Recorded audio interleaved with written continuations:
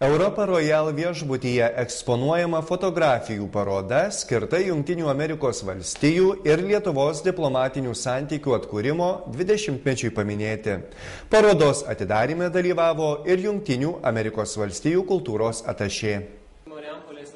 Europa Royal viešbučio foje pristatyta neįprasta paroda, skirta Junktinių Amerikos valstijų ir Lietuvos diplomatinių santykių atkūrimo 20-mečiai paminėti. Taip pat ir kitai svarbiai datai - pirmųjų diplomatinių santykių užmesgymo 90-mečiai.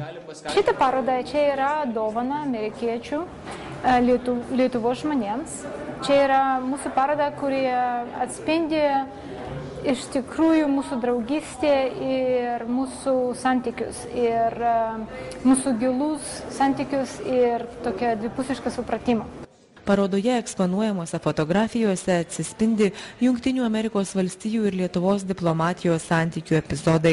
Pastarųjų metų diplomatiniai santykiai Lietuvos ambasadorių Junktinėse Amerikos valstijose ir Junktinių Amerikos valstijų ambasadorių Lietuvoje asmeniniai prisiminimai, bendradarbiavimas gynybos rytyje, kultūriniai ir sporto ryšiai. Kuo yra ypatinga? Tai yra ypatinga to, kad prie um, šios parodos rengimo prisidūrė daug žmonių.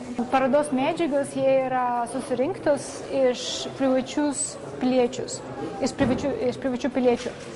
A, pirmas Lietuvos ambasadorius į Ameriką padovanojo mums truputį laiškus, laiškų ir a, kitų medžiagų ir a, mūsų pati ambasadorė irgi aukoja truputį medžiagų ir mūsų mainų programų um, dalyviai irgi pasidalino savo nu, prisiminimais ir uh, dokumentais ir taip toliau. Ši paroda jau yra aplankiusi nemažai Lietuvos miestų. Marijampolėje Europo Royal viešbučio foje ji bus eksponuojama visą mėnesį.